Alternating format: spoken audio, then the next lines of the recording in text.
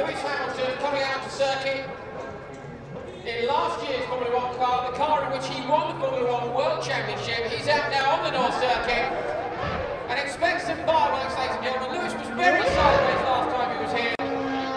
We gave him some encouragement, we gave him a few cheers. Show Lewis your hands as he comes around the West Circle. Give him a wave, everyone.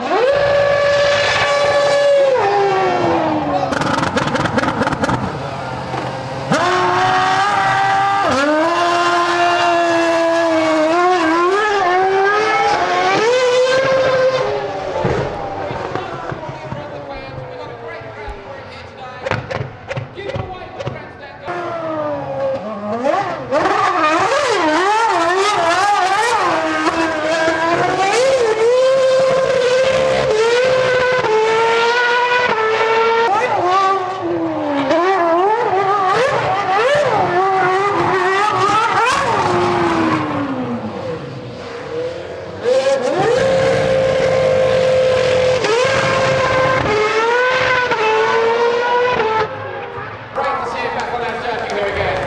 Oh, he's going for the big donuts as well. Round over here by the entrance to the North Circuit. Round the circle. Full donut and full marks for Lewis Hamilton. Fantastic display. Just what the fans want. What a start. Give him a big round of applause. Lewis, we're here in Brooklands for the Mercedes-Benz event. What is your impression of the day? Well, first of all, it's it's um, Mercedes-Benz World here. It's such a great facility. It's amazing. The, the track we have here, so much fun. All these people turned up. I cannot believe how many people are here. But uh, every time we have an amazing turnout.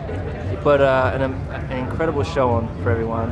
Um, but the support we have here is, is really phenomenal. And uh, obviously Mercedes-Benz it's, it's a great great way for them to, to have young kids come and learn how to drive and um, it's a great great place for people to come for a weekend.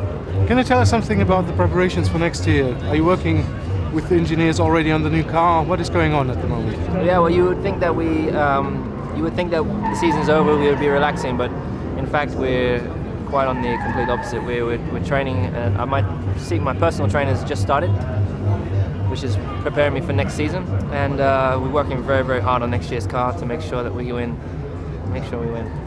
What What are you doing the, the next week, month? Is there is there any time for holidays now? What is the plan? Um, I'm working quite hard at the moment, um, just with the engineers. I'll be back in the factory quite a bit, and um, and quite a lot of different appearances, all the way up until I think it's it's early December, and then after that it's just full training. But I have no plans for a holiday.